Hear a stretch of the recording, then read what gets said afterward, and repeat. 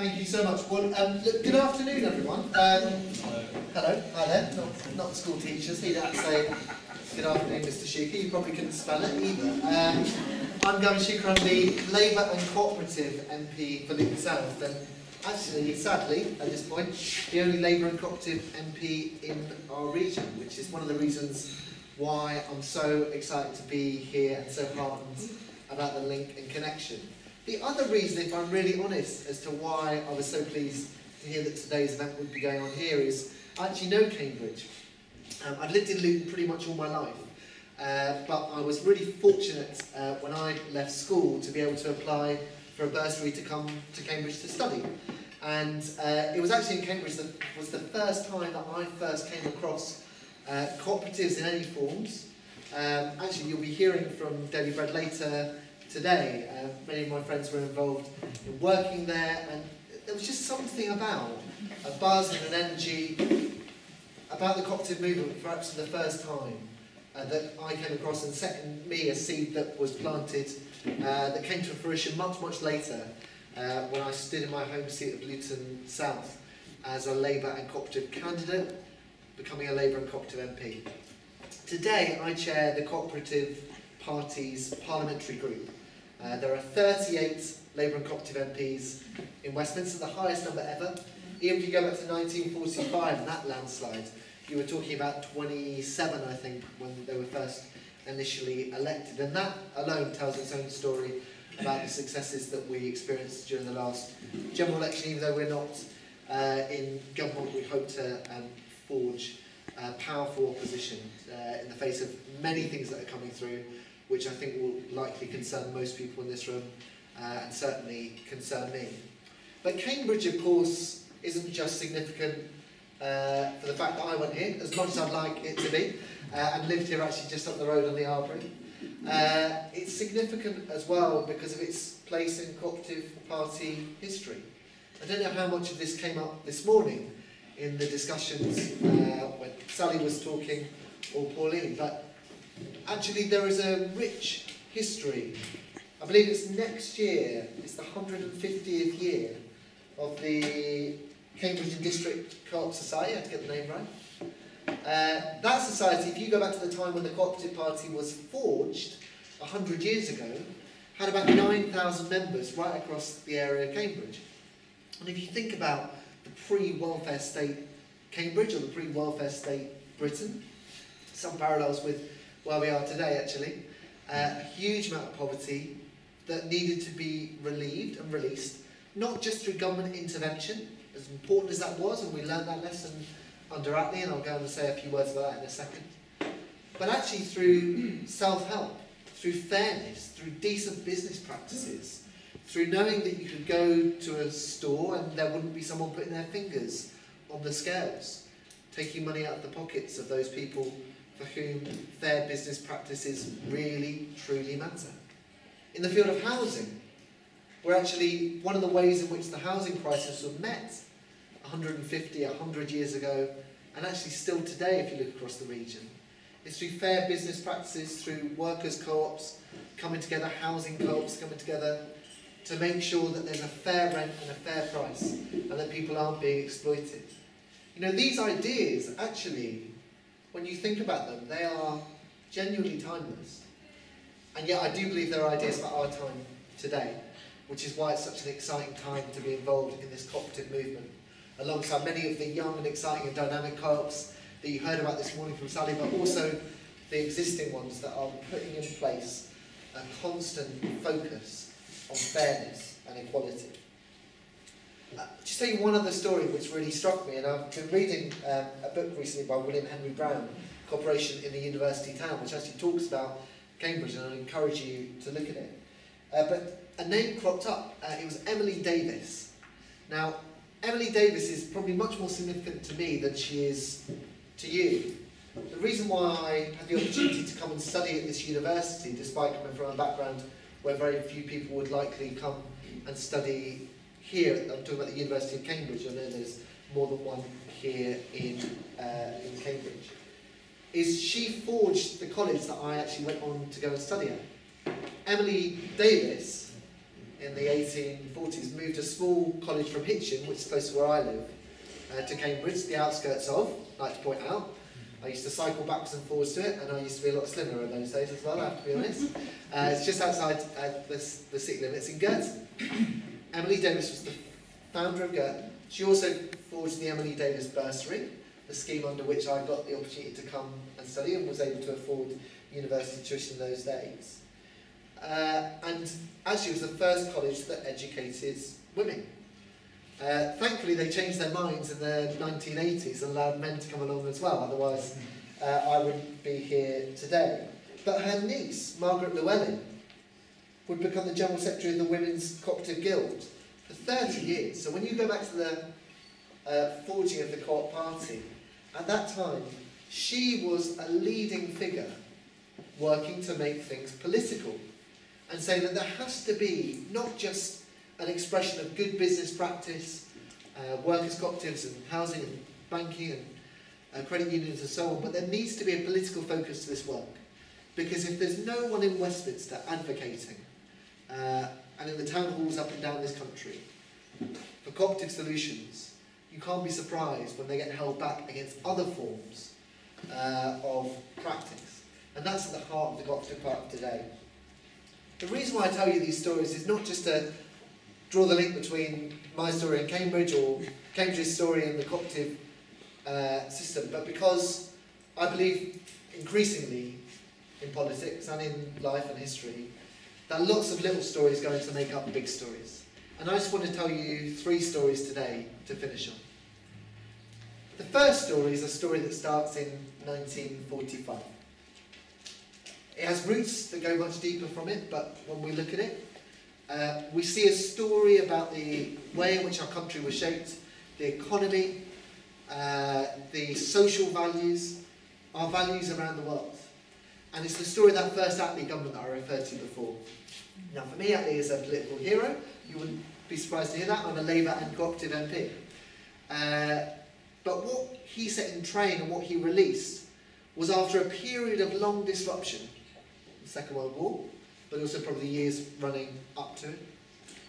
It came and it was a powerful new idea, an economic model that drove incredible growth. When we um, were uh, coming out of the Second World War, we were indebted to the world.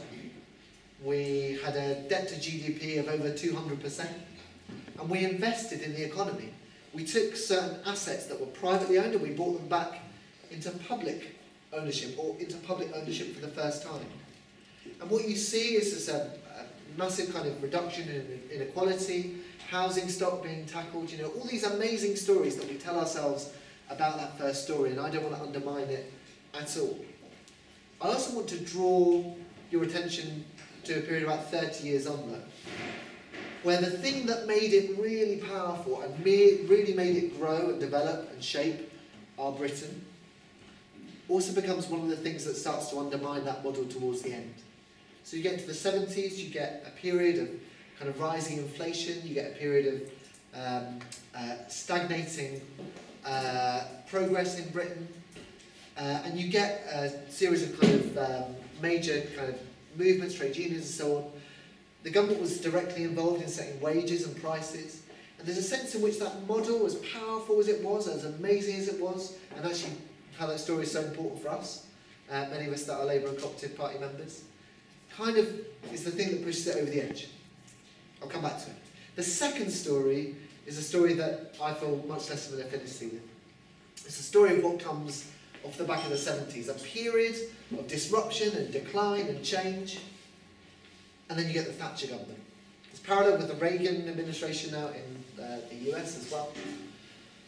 And what's the central idea there? Well, it's the idea that actually the way in which you can make the economy grow and get prosperity and so on would be for government to get out of the way, the opposite of the Attlee government. When I walk into um, members' lobby in Parliament and I do the tour with people, I say, uh, you know, look, we've got four big figures, two by the chamber and two as you come in. Uh, you've got Lloyd George, who won the First World War, and Churchill, who won the Second World War, and Clement Attlee, who created the welfare state, and Margaret Thatcher, who dismantled it. Uh, I always make the point, you know, these are big, epochal kind of stories that can be summed up uh, in lots of kind of different ways. And the Thatcher thing was greed is good. Greed is good. We saw that, you know. We saw absolutely we became a richer nation. Inequality, by the way, went up by three times uh, during the 1980s and that period of time as well. And on the surface of it, you kind of look and you can see how much of a richer nation we are after that period. But the same thing goes on. So even when my party came to power in 1997, we didn't say we're going to sweep away the market and go back to that old system. We said we're going to keep the market. But what we're going to do is we're going to redistribute that wealth. We're going to put it back into tax credits and so on. You get to 2008, you have a global financial crisis, a massive period of disruption, one that we're living through right today. I tell you those two stories because I want to set the third. What we tend to see is we see a period of major decline, change, disruption in our country, and then the establishing of a new political and economic model. We saw it in 1945, and what happened in the 70s, about 30 years. We saw it in the early 1980s, and what happened towards the end of the 2010s, about 30 years. And my contention for anyone that's looking at politics and thinks it's completely standing on its head at the moment, can't understand what's going on, these upstart movements, these big shifts and changes, is that I think we've gone through that period. And the third story is a third story that we have to write together. We have to collectively decide what that looks like now. When it happens, it will be forged, actually, with things that mean that we get growth and change and a big renaissance in this country, and I'm hopeful about what that looks like. There are many signs to suggest that we shouldn't be, and we should be on our guard. But my hope is that we can find that. And we do that probably with the knowledge that at the end of that process, the end of that cycle, there'll probably be some things we baked in at the start that undermine it. But that's our challenge as people that are involved in social action, involved in politics, involved in running good business with good outcomes, people that benefit and engage and try and work out and read the signs of the times that we live in today and try and come up with responses that aren't just about cynicism or despair or wanting to walk away, but are answers to the times that we live in right now. Now, I look at politics right now, if I'm really honest, and I can see a lot of echoes of those first two stories. I can see actually a group of people who say the way in which we solve this is we go back to where we were 60 or 70 years ago. We just repeat what we had before. Kind of missing the fact that actually uh, many of those solutions don't work in the same way that would, they would have done before. The values are right, absolutely, but I don't think we can just take lessons from the past and apply them directly. I think we have to apply those lessons to the world as we find them. I see another group of people who want to radically drive us towards a free market economics without any kind of um, safeguards, without any kind of morals uh, in them, and say that's the way to do it. You know, walk away from your existing relationships. Go and forge relationships around the world with low tax, low regulation economies and so on. And I think the challenge for us as a cooperative movement, as we come into this second century as a party, is to actually learn some of the lessons of those first two stories that I told you about today. Because I told you they started in 1945, and I told you they started in 1979. But the reality is they didn't start then at all. Neoliberalism, there's a clue in the title. Many of those thinkers and those politicians, what they were doing was they were harking back to an earlier age of liberalism. They were looking and learning the lessons of what had happened a hundred years before. There was a whole wealth of history and drama and um, knowledge to kind of draw from.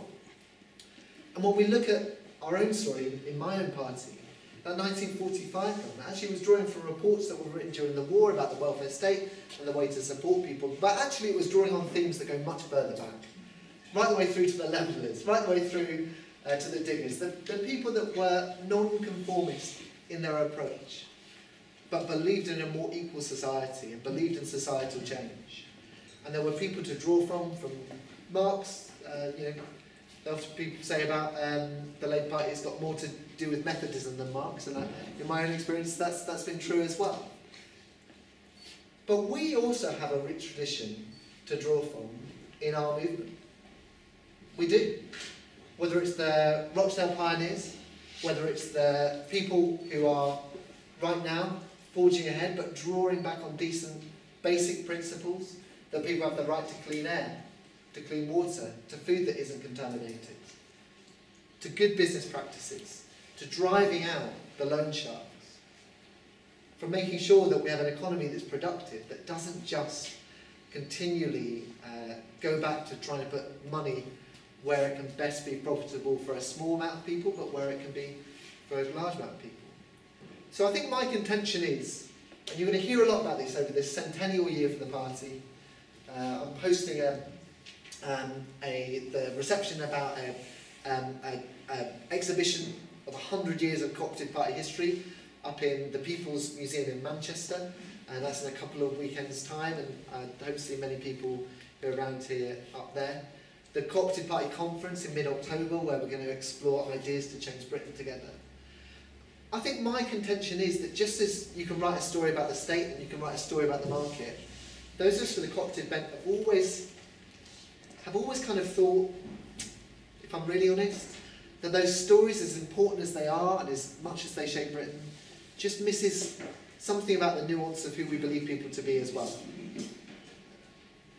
You know, when I go and cheer on Luton Town, my football team, I don't want the state to come in and nationalise it, and actually I don't want it to be like the Premiership either. I don't want big money to dominate it. I don't want it to be about who can pay the most.